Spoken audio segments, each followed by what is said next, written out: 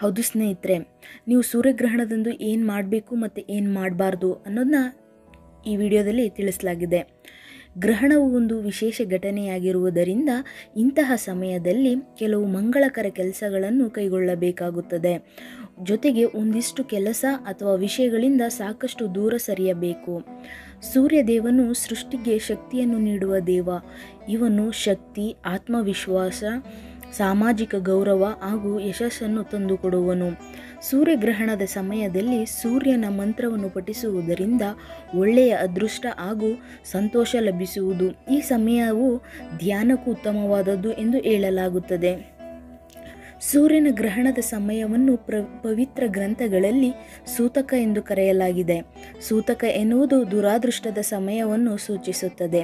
ಹಾಗಾಗಿ ಈ ದಿನದಂದು ದೇವರು ಅಥವಾ ವಿಗ್ರಹದ ಪೂಜೆಯನ್ನು ಮಾಡಬಾರದು. ಗ್ರಹಣದ ಸಮಯದಲ್ಲಿ ಗರ್ಭಿಣಿಯರು ಮನೆಯಿಂದ ಹೊರಗೆ ಬರಬಾರದು. ಸೂರ್ಯನ ಹಾನಿಕಾರಕ ಕಿರಣಗಳು ಮಹಿಳೆಯ ಭ್ರೂಣದ ಮೇಲೆ ಪ್ರಭಾವ ಬೀರುವುದರಿಂದ ಚರ್ಮದಲ್ಲಿ ಸಮಸ್ಯೆ ಉಂಟಾಗುವುದು ಎಂದು ಹೇಳಲಾಗುತ್ತದೆ. ಗ್ರಹಣದ ಸಮಯದಲ್ಲಿ ಬೆಳಕಿಗೆ ತೆರೆದಿದ್ದ ಹಣ್ಣು ಹಂಪಲುಗಳನ್ನು ಸಹ ಸೇವಿಸಬಾರದು. ವೈಜ್ಞಾನಿಕವಾಗಿ ಸೂರ್ಯನ ಕಿರಣ ಇವುಗಳ ಮೇಲೆ ಬಿದ್ದು ವಿಷಮವಾಗಿರುತ್ತದೆ ಎಂದು ಹೇಳಲಾಗಿದೆ.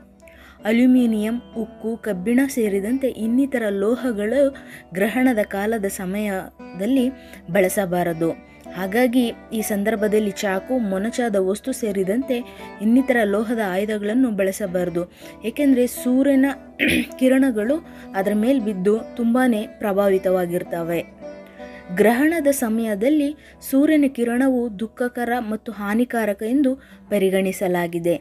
ಈ ಸಮಯದಲ್ಲಿ ಆಹಾರ ತಯಾರಿಸುವುದು ಮತ್ತು ಅದನ್ನು ಸೇವಿಸುವುದನ್ನು ನಿರಾಕರಿಸಲಾಗಿದೆ. ಈ ವೇಳೆಯಲ್ಲಿ ಎಲ್ಲ ವಸ್ತು ಕಲುಷಿತವಾಗಿರುತ್ತವೆ. ಅವುಗಳನ್ನು ಸೇವಿಸಿದರೆ ಅನಾರೋಗ್ಯ ಉಂಟಾಗುವುದು. ಮತ್ತು ಈ ಸಮಯದಲ್ಲಿ ಮಲಗಬಾರ್ದು. ಮತ್ತು ಯಾವುದೇ ಕಾರಣಕ್ಕೂ ನೀವು ತುಳಸಿ ಗಿಡ, ಶಮಿ ಗಿಡವನ್ನು ಮುಟ್ಟಬಾರ್ದು ಇದಿಷ್ಟು ನೀವು ಗ್ರಹಣದ ಸಮಯದಲ್ಲಿ ಮಾಡಬಾರ್ದು. ಮತ್ತು ಗ್ರಹಣದ ನಂತರ ಕೈಗೊಳ್ಳಬೇಕಾದ ಕೆಲಸಗಳ್ಯಾವುವು? ಅನ್ನೋದಾದರೆ, ಸೂರ್ಯಗ್ರಹಣದ ನಂತರ ತಪ್ಪದೆ ಸ್ನಾನ ಮಾಡುವುದನ್ನು ಮರೆಯದಿರಿ.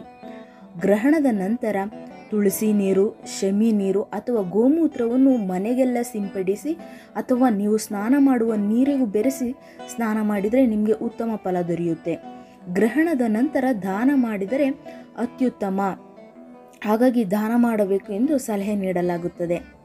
ಇನ್ನು ನೀವು ಸೂರ್ಯಗ್ರಹಣದಲ್ಲಿ ಯಾವ ಮಂತ್ರನ ಪಠಿಸಬೇಕು ಅಂತ ನಿಮಗೇನಾದರೂ ಕನ್ಫ್ಯೂಷನ್ ಇದ್ದರೆ ನಾವು ಇಂದಿನ ವಿಡಿಯೋದಲ್ಲಿ ಸೂರ್ಯಗ್ರಹಣ ಸಮಯದಲ್ಲಿ ಶ್ರೀ ವೆಂಕಟೇಶ್ವರ ಗಾಯತ್ರಿ ಮಂತ್ರವನ್ನು ಪಠಿಸಲು ತಿಳಿಸಿದ್ದೇವೆ. ನೀವು ಆ ಮಂತ್ರನ ಪಠಿಸಬಹುದು ಅಥವಾ ನಿಮಗೆ ಉಚ್ಚಾರಣೆ ಸರಿಯಾಗಿ ಬರಲ್ಲ ಅನ್ನೋರು ಆ ಮಂತ್ರನ ಇಪ್ಪತ್ತೊಂದು ಬಾರಿ, ಐವತ್ನಾಲ್ಕು ಬಾರಿ, ನೂರೆಂಟು ಬಾರಿ, ಸಾವಿರದ ಎಂಟು ಬಾರಿ ಬುಕ್ಕಲ್ಲಿ ಬರೀಬಹುದು. ಅಥವಾ ಯಾರಾದರೂ ನಿಮ್ಮ ಮನೆಯಲ್ಲಿ ಹಿರಿಯರಿದ್ದರೆ ಅವರು ಜೋರಾಗಿ ಹೇಳೋಕ್ಕೆ ಹೇಳಿ ಅವರು ನಿಮಗೆ ಹೇಳ್ತಾರೆ ಮಂತ್ರನ, ಅದನ್ನು ನೀವು ಕೇಳಿಸ್ಕೊಂಡ್ರೂ ಸಹ ನಿಮ್ಗೆ ಒಳ್ಳೆಯ ಫಲಗಳನ್ನು ಸಿಗುತ್ತೆ. ಗ್ರಹಣದ ಸಮಯದಲ್ಲಿ ಮಂತ್ರಗಳ ಪಠಣೆಯಿಂದ ನಿಮಗೆ ಸಾವಿರಾರು ವರ್ಷಗಳ ಕಾಲ ಧ್ಯಾನ ಮಾಡಿ ಪಡೆದಂತಹ ಶಕ್ತಿಯಷ್ಟು ಶಕ್ತಿಯನ್ನು ನೀಡುತ್ತೆ. ಹಾಗಾಗಿ ಗ್ರಹಣದ ಕಾಲದಲ್ಲಿ ಯಾವುದೇ ಕಾರಣಕ್ಕೂ ಯಾವುದೇ ತಪ್ಪು ಕೆಲಸಗಳನ್ನ ಮಾಡಬೇಡಿ.